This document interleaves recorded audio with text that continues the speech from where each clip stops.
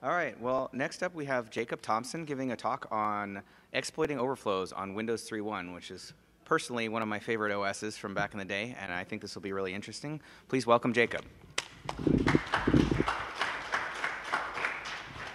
All right, so thanks everybody. So this is called From Far and Near Exploiting Overflows on Windows 3.x, or in my case, 3.11. So the title, if it doesn't make sense now, it will once I get into the C code and so forth. So, and we're here at TorCon 20. So I actually did this as a side project at the office over, I don't know, three or four weekends.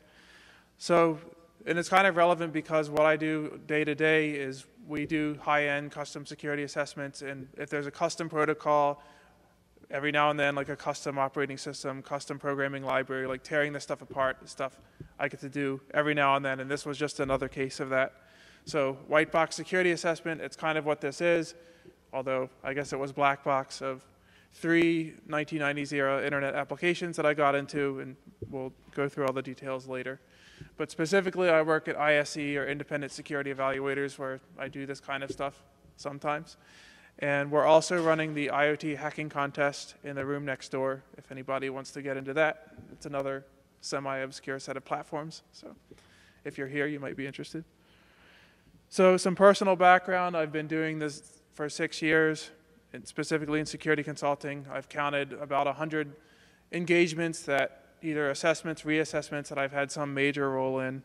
Particular interests kind of fit right with this reverse engineering, cryptography, design flaws, which are kind of an interesting thing because like a scanner can't find a design flaw oftentimes, where I have some coworkers out here that are dealing with some of those right now.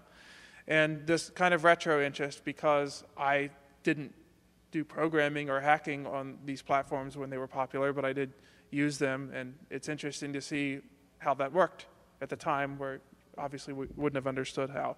So that's kind of interesting as well. So getting into this topic of 16-bit overflows, well, first I think it's kind of interesting and a little amusing. Like in popular culture, I think 16-bit and 8-bit to a lot of people have something to do with like really tinny sound and pixelated images. But of course, in programming, it has nothing to do with that. In fact, 16-bit color is a good thing, right? Particularly in the days of Windows 3.1. So that is a little amusing to me, just a little diversion. Um, so specifically, I have a virtual machine here with Windows for Workgroups running. If we switch over into that, we can click around and see what I have installed. I took a look at several of these programs here, some of them successfully, some of them unsuccessfully at actually finding anything that I could exploit in time. So we had Acrobat Reader back then, just like now, and probably a lot faster and user friendly. Um, MIRC was one I looked at. I know MIRC is kind of rampant for security holes. I'm not sure that buffer overflows necessarily were one of them, and I'm not sure why. Potentially they were using C++ with a good string library or something most of the problems I found in the three programs I got were pretty trivial, like taking a file path that's too long, like really obvious things.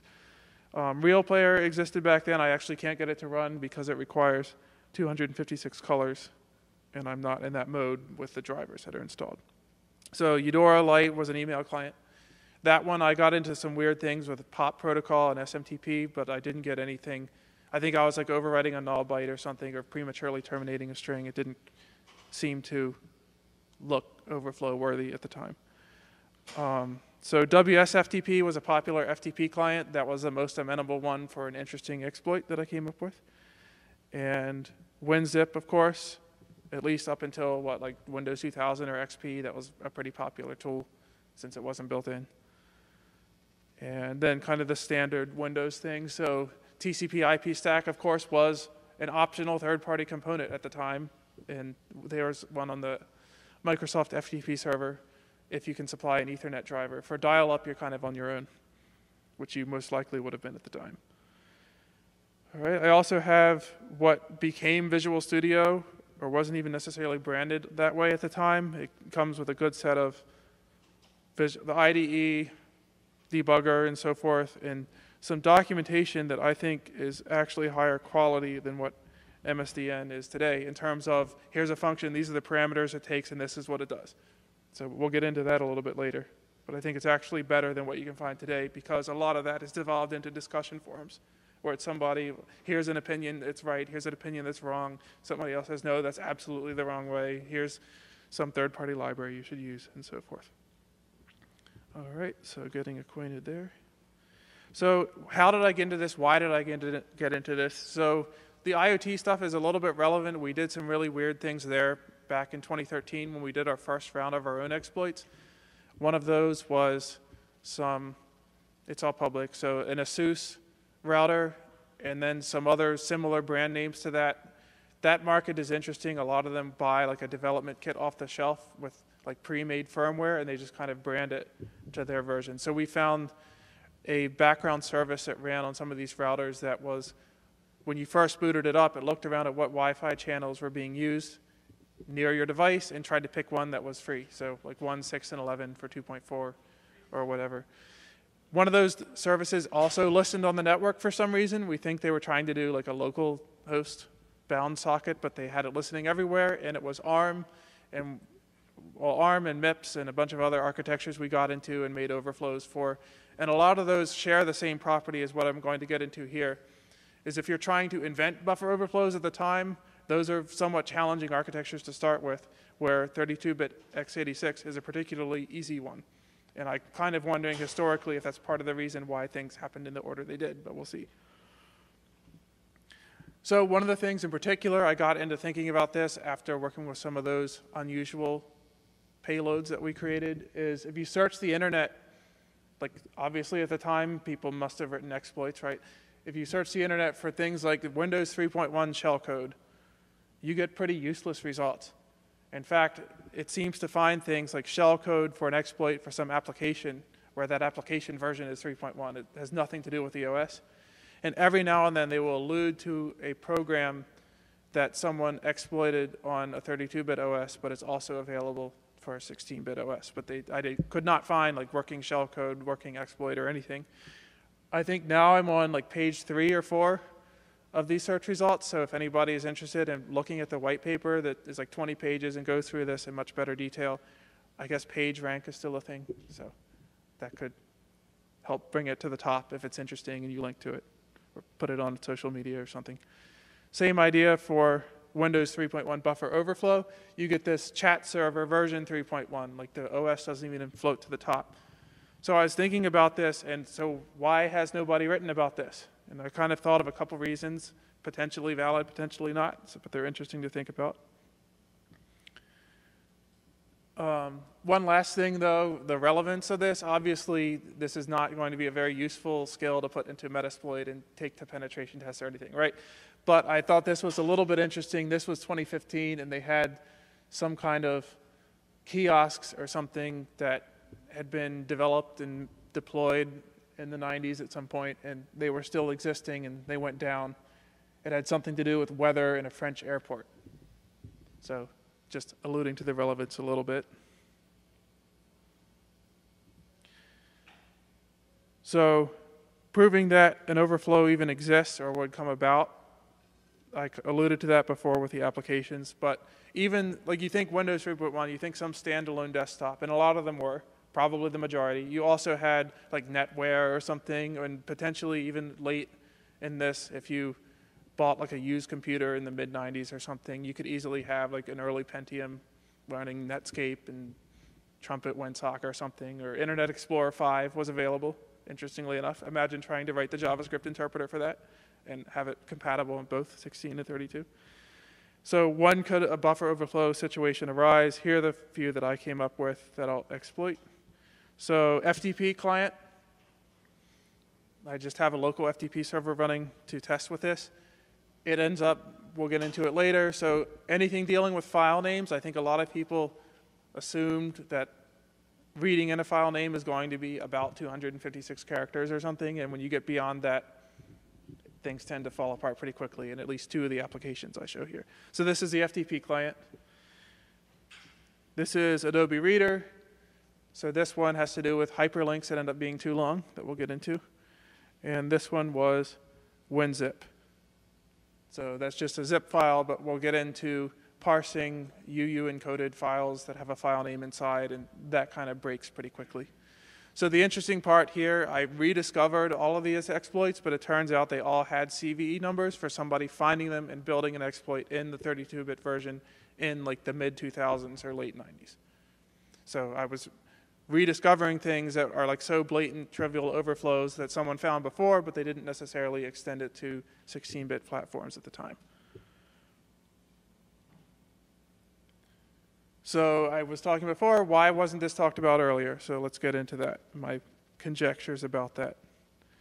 So maybe it wasn't interesting. Let's picture it's like you're writing smashing the, smashing the stack for fun and profit.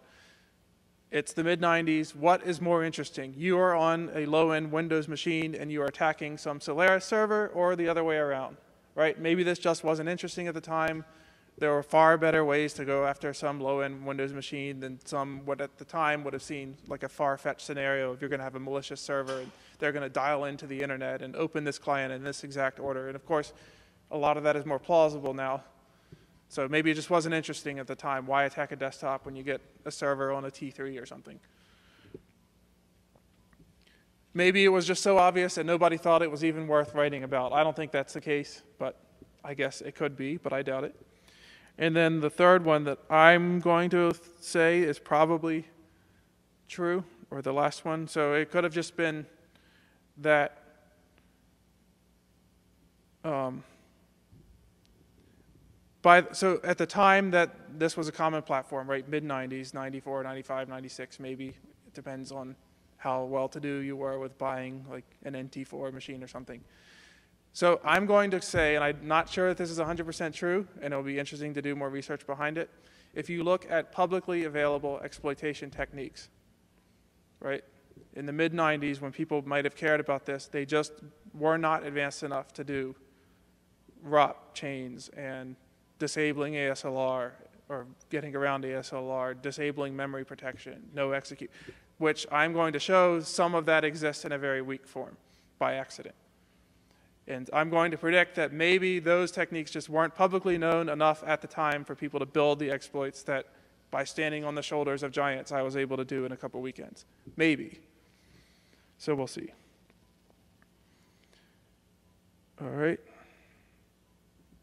So how about we do an overflow just to show that it's possible here. I'm going to do a live demo rather than what I have reserved in the slides. Let's kind of build one on our own, right? So if we open Notepad, which is probably one of the least changed applications since this time. So a UU encoded file, it has begin, permissions, file name, a bunch of UU encoded data, which is superficially similar to base 64, but uses characters that are more dangerous, and then end at the bottom. So we can build like our mode here, let's say it's 664 for Unix permissions, and then a file name, we'll make it longer, and then we won't even need any data because it'll crash before then. So let's get some malicious stuff here. Oh, I've got a lowercase one in there.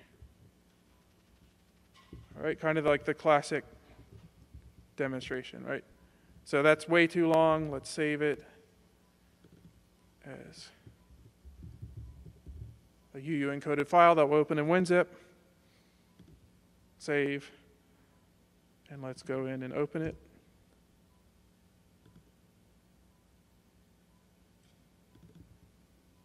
All right. It's shareware. I guess that's not really a thing anymore because of mobile platforms. Like there's no friction to buying something. So we'll open it.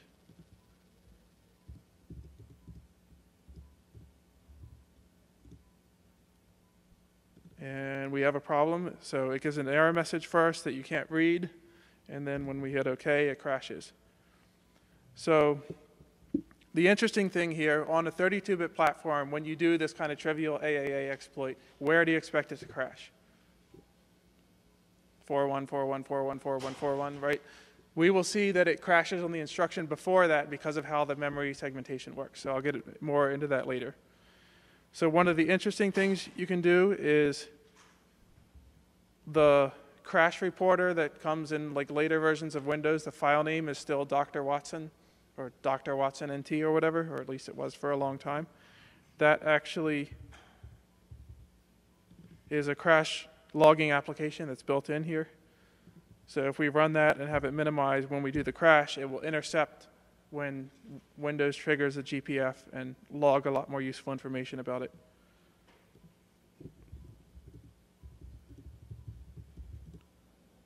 Uh, or not, we have to reboot because there's some lock that is still acquired somewhere. Thankfully, it takes a lot less time than it would have done back then. A little video glitch that resolves itself. All right, well, so the crash reporting here. And then do this overflow.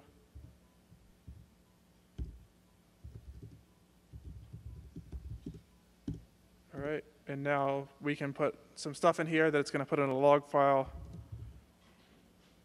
And then we can browse to that file.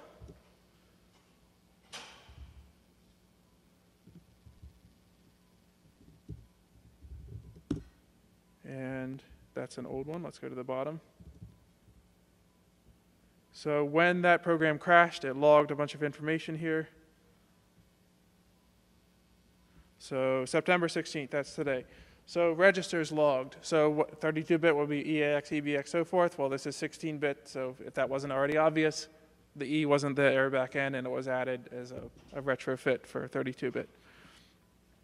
So BP is an interesting register that kind of looks awful like a lot like the pattern we just ran into. So BP was overwritten.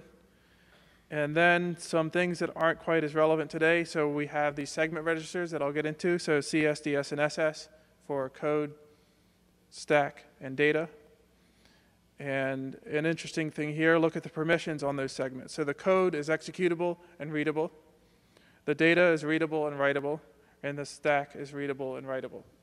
So if the code is not writable and the stack is not executable, this kind of sounds like the high watermark for buffer overflow defenses on Windows until XP Service Pack 3 when no execute stack came back. So that's an interesting point that I'll get into the details a little bit. So if your code segment and your if you don't have a code segment and a data segment overlapping, then you have some form of data execution prevention by design or by accident. So that's an interesting point.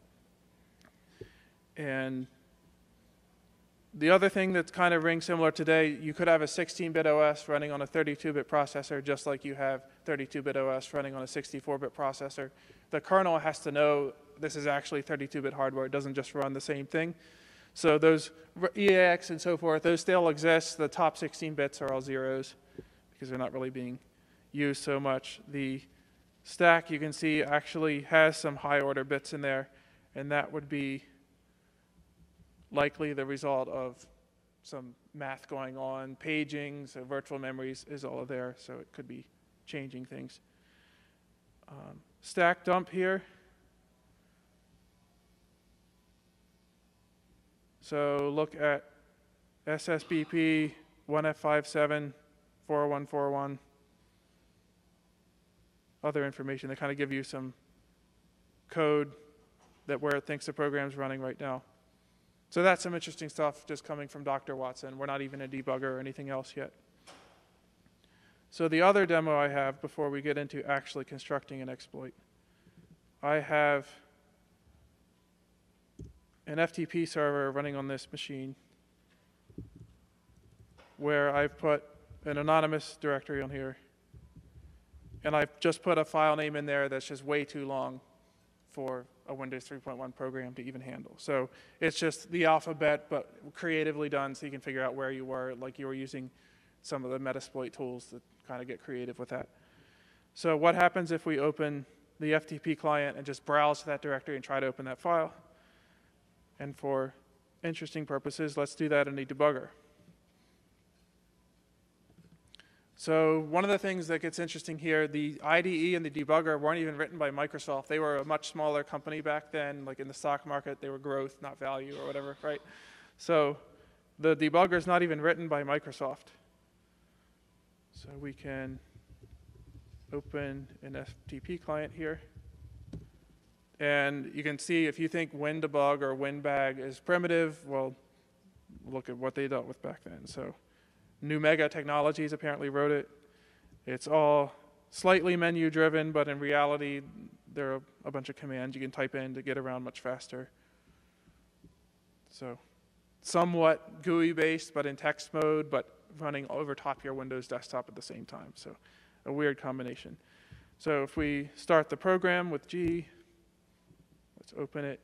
I have two FTP servers running, one that's a script specifically designed to exploit this, and one that's just a normal FTP server. So we'll put it on 21, anonymous, go in here, and we have a problem. As soon as we go into that directory, it crashes, traps you into, the, into this debugger. So we can look what's in the registers in the current instruction. So AX, BX, CX, and so forth. The base pointer is overwritten with some ASCII characters, 5373, those are valid. The crashing instruction is a return. And this is what I was alluding to earlier, is it's going to crash on the instruction that attempts to return to an invalid address rather than overwriting EIP and crashing there because it's an invalid address. So that is weird. We can look at what's on the stack here. And I'll get a lot more into the details here in just a minute. So, so a bunch of ASCII looking values. Let's do those in ASCII. So, and there you go. So Interesting thing here, when it was creating that directory listing on the screen, it was trying to put the date and time in there, not even as separate columns, just with like a vertical bar to separate them. And we don't get a bunch of contiguous bytes here that we can control for looking at ROP chains, shellcode, and so forth after that, because the date is in the middle. So what I ended up having to do, and I'll get into this later, is get creative with jumping over that region that had the date and writing an FTP server with a path so long you can't even create a file with that name on Linux. And that's why we need a custom implementation of FTP. So I'll get back to the slides, but obviously these crashes are here. They're doing bad things that are worth further investigation. I have kind of a, a more static version of it here. I skipped this a little bit, but when you're writing an overflow on 32-bit, like what's kind of the basic, like trivial, no ASLR, no DEP overflow you would do? You have a program, presumably in C, maybe C++, that takes untrusted input, command line, environment variables, standard in, a network socket, a file on disk, somewhere that's untrusted, tries to stash them on the stack somewhere. So strcpy, scanf, something. From the overflows I ran into, I'm pretty sure those functions were all over the place and you write too much on your local variable or local buffer, than it can hold what happens to be there as the stack grows down and you write upward, the return address is there, you overwrite it with address of code you've written, like shell code, or something slightly more complicated, like a very useful instruction like jump to the stack. A vulnerable program trivially might look something like that. Ask for input and just write it into a buffer without paying attention to what was passed versus how many you can hold. We'll very quickly see that that doesn't work. And the next 10 minutes or so, we'll get into why, based on memory layout. Complications of exploiting on a 16 bit platform.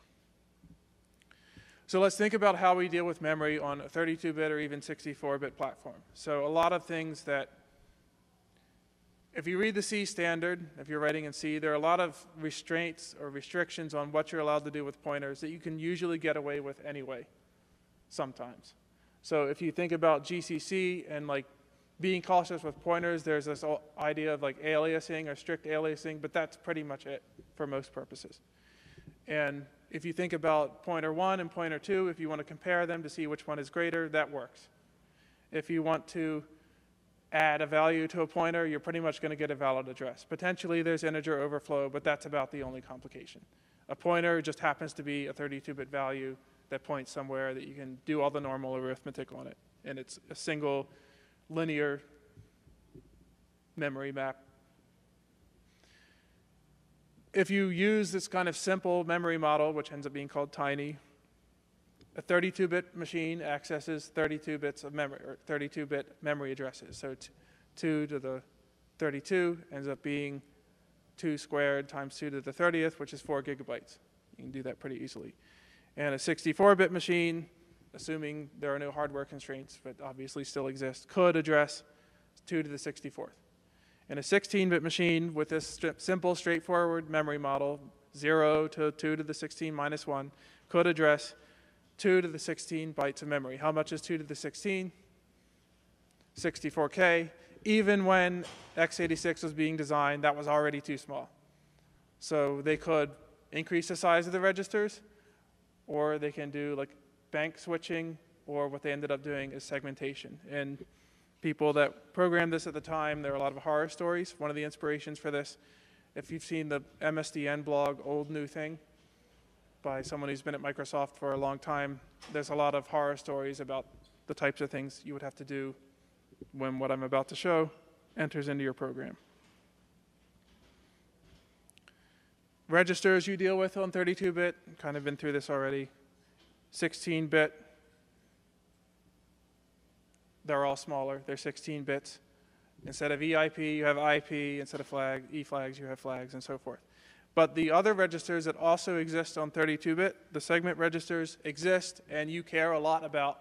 This is assembly programming that kind of creeps its way when you're working with C when you're doing this development. So, first of all, the segmentation. So, every 16 bit program has to have a memory model chosen by the programmer. And every one of these is about trade offs between code size and speed and size of the program.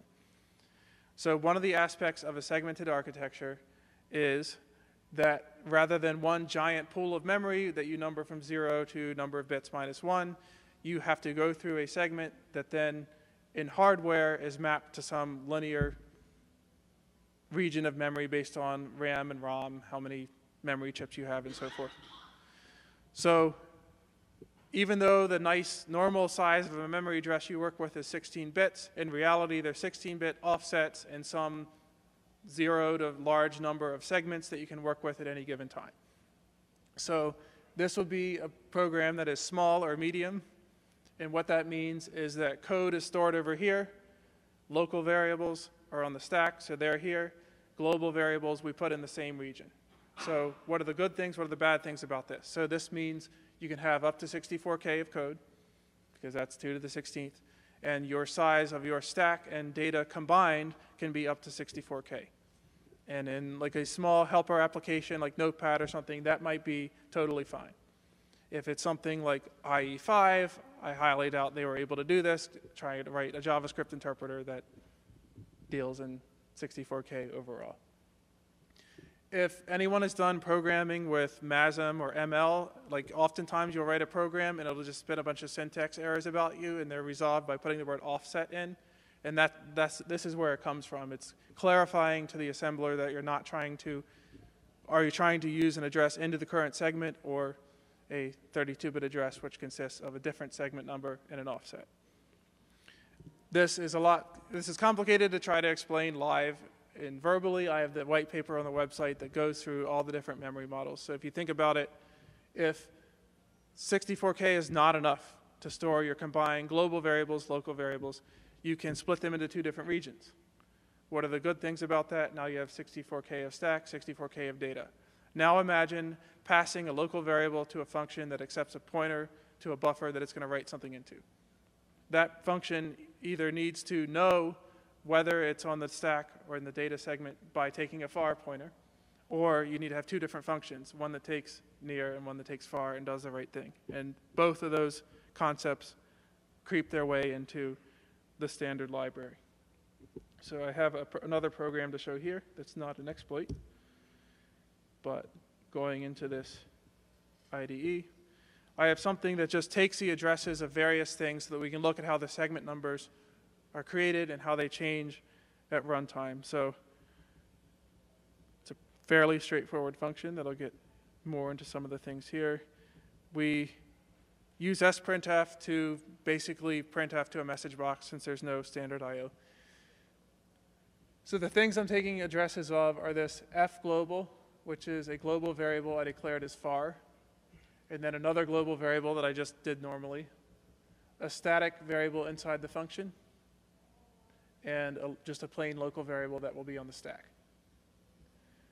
Then I took a few function pointers, one of when main, which is this program itself, and by casting it to far, we can get the segment number.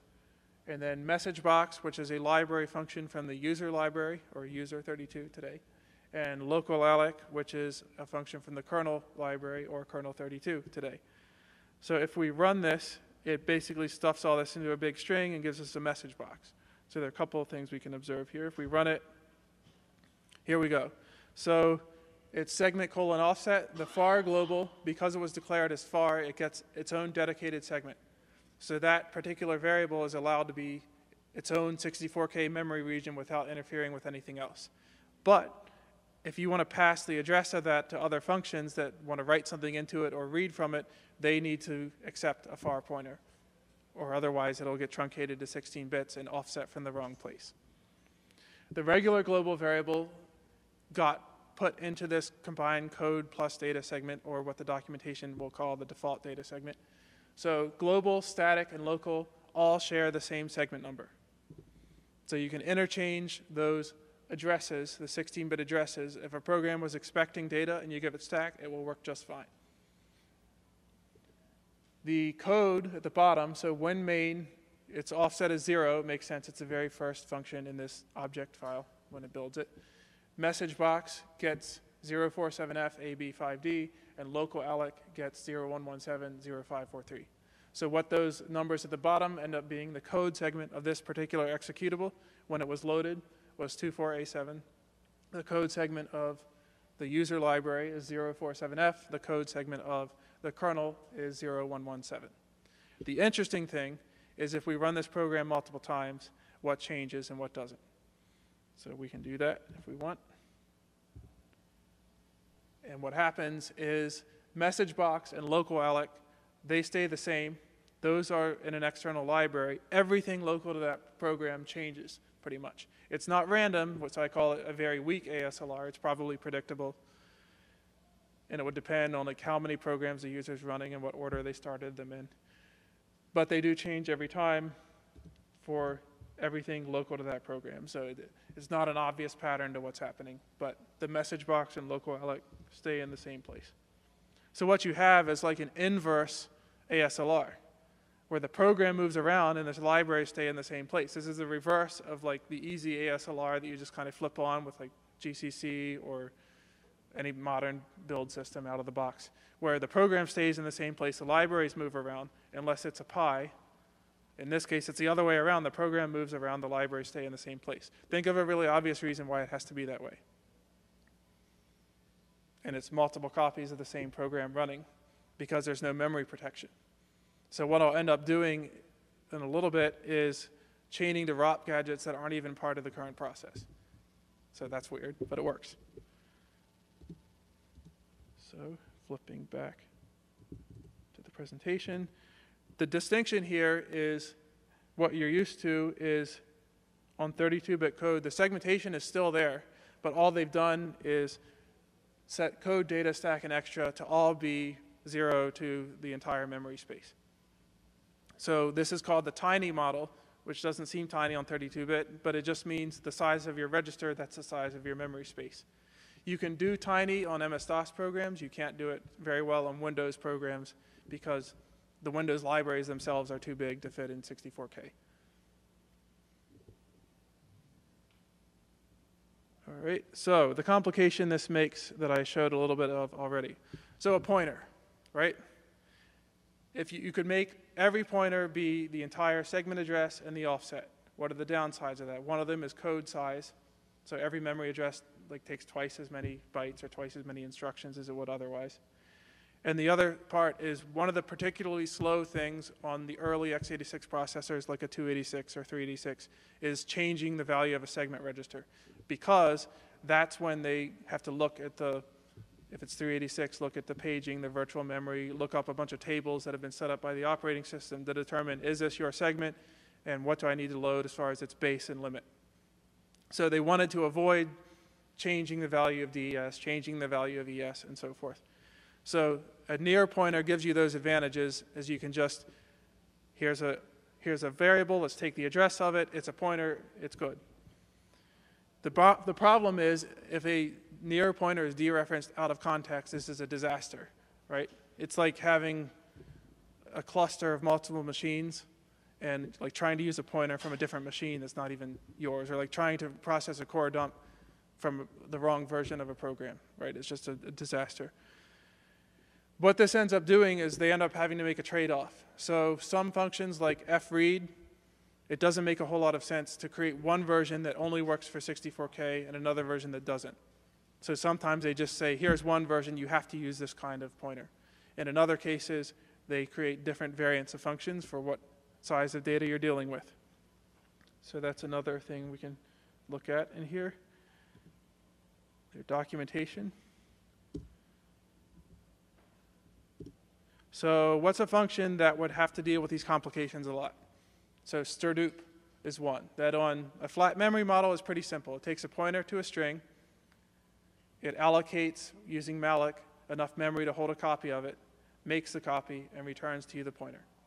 And then later on, you will free it. But when you add these complications, you need three versions. So the first one is the one you're used to. What it does is depending on the build options used to compile your program, it does the right thing. So if your program is tiny, everything would be near. If your program is huge, everything ends up being far. And, and then in between, it depends on the particular context of the memory model you've chosen, the details of which are in the white paper. Then they need another version, fstrdup and farstrdup, and what these are doing is they're giving you a different kind of pointer as the return value. They take a far pointer in both cases, but when they call malloc, there end up being different versions of malloc because there's more than one heap. So there's a near one, a far heap, and it will allocate from the correct place. And what you have to do as a programmer is remember when you free where you got the pointer from. This somewhat reminds me on even on Windows programming today, if you don't link to the C library correctly, you can have a program and a DLL that are linked to different, slightly different versions of MSVCart. And in this kind of situation, it's malloc is one version and free is a different version. That can be another disaster that happens. This somewhat reminds me of when you're in C++ and you're dealing with const. There's a const int star, an int const star, or an int star const, and there's the third one is a completely different meaning than putting it in front. So a char far star means that the return value is going to be a segmented offset of 32-bit value.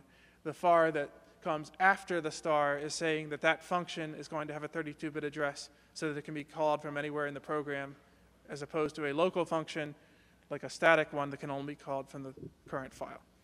So making a function static in a 16-bit program is going to trigger a bunch of compiler optimizations that aren't necessarily relevant on 32-bit because static guarantees it won't be called from outside or unless you have a function pointer. Both of them, as I said, take a far and give you the right kind depending on what you've asked for. So how about functions? As we just got into, a function can, you can have a far function that returns a near pointer, a near function that returns a far pointer, or the other two cases. And so it's two squared, so four possibilities. Where this becomes relevant. So a far function means that when it is called, the function calling it may not be in the same code segment as that function. So when it gets called, that function the caller needs to know the entire 32-bit address. When you return, you need to switch the code segment back. So that means that the size of a return address on the stack depends on the context in which a function was called. Thankfully, it, it is the same depending on how that function was declared. So sometimes this might be suboptimal. If you have a far function that happens to be in the same code segment, you swap out the register anyway, but it works. It's just more flexible. Why this is relevant? Well, in a buffer overflow, a return address is something we'll particularly care about. How does this affect exploitability? So, as I alluded to, this is kind of like 1993 very weak versions of ASLR in depth. ASLR meaning that you can't use, you can't assume where the stack is, and it's the upper bits that are different rather than the lower bits. You can't assume where the code segment of the current program is. You can't assume where the common libraries are, so that's what I'll do. And dep meaning you can't just put shellcode on the stack and call it or jump to it. You'll have to mark the stack as executable first. So I'll have to speed up a little bit. ASLR, no memory, no memory protection. A segment is unique across all processes running. It can be bypassed pretty easily by just knowing where these very large libraries with lots of useful things like loading a segment register, finding where the stack is, and so forth that you can call from anywhere with ROP. This version of dep, you can't have an executable code segment. What you can do is have a code and data that point to the same place so that you can just access it on a roundabout way to write to a place that's also executable. So wait a minute, the problem, why, did, why wasn't depth there the whole time? When you switch to 32-bit and you go to the tiny memory model, you can't do this because you've implicitly created a situation where everything that's executable can also be accessed through the data segment. So paging can do read, write, or read only, but it can't do executable but not writable until they added that in the processor like a Pentium 4 or something. Calling conventions, another complication. So the one we're used to, cdecl, when you call a C function, the arguments start at the end and it passes them to the beginning. What's the reason for that? Variable number of arguments. A function is expected to figure out how many there are by looking at the first one.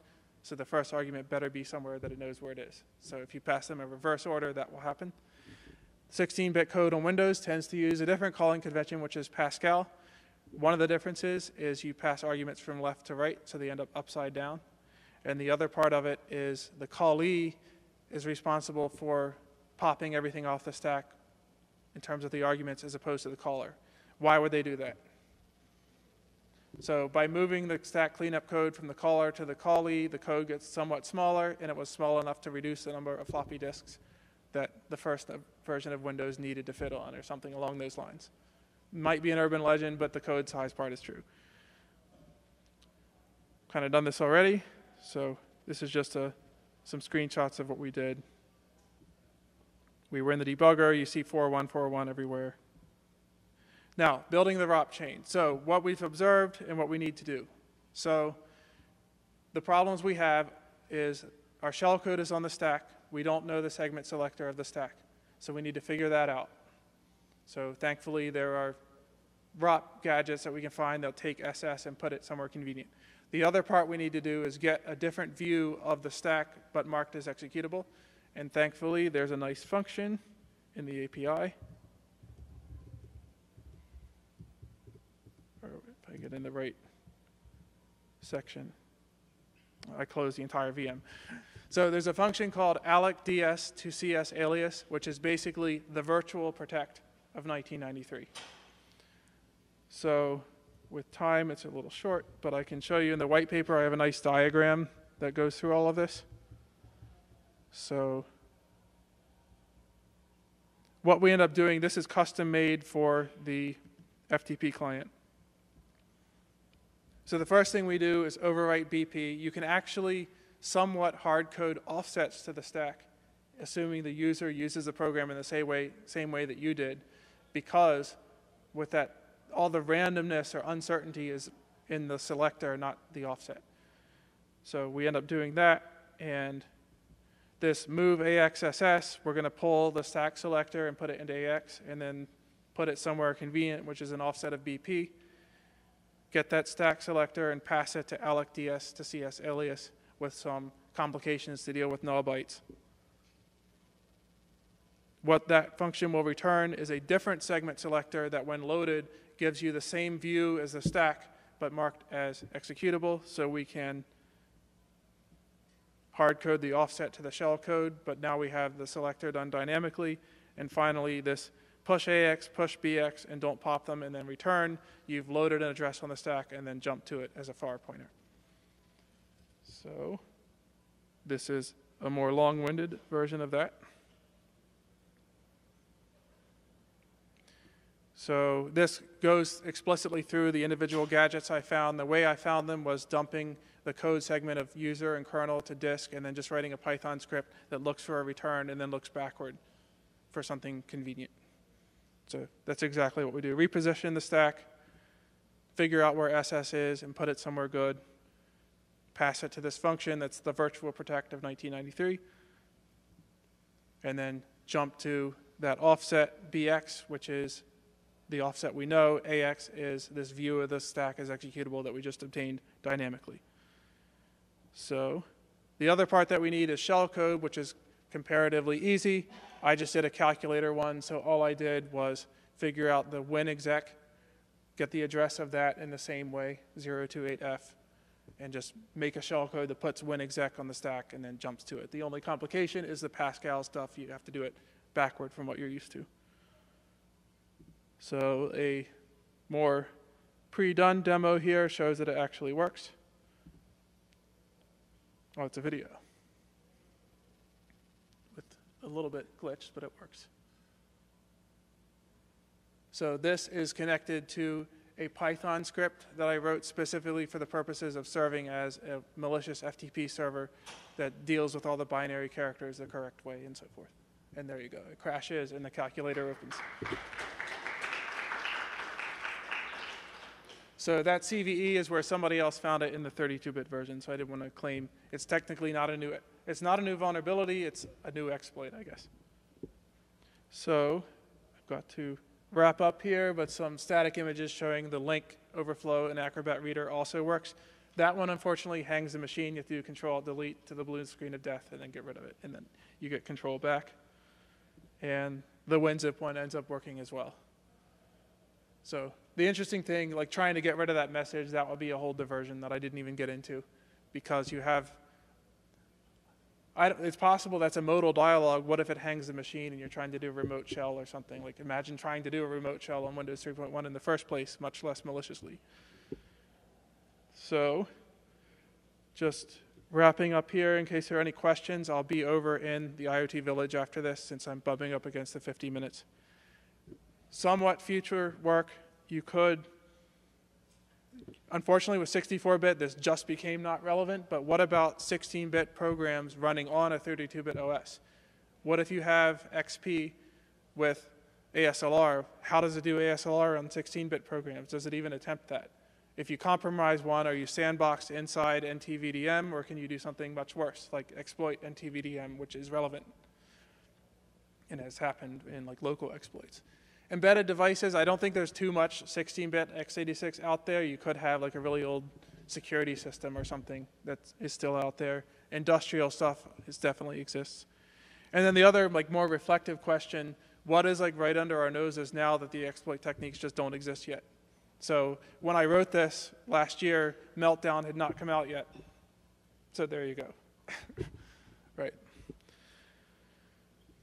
So the white paper has far more interesting details, all the technical stuff. If you go on our website, you can find it. And I will be over in that room so I can let the next speaker come in at the IoT Village for any questions anyone has. Otherwise, I will wrap up.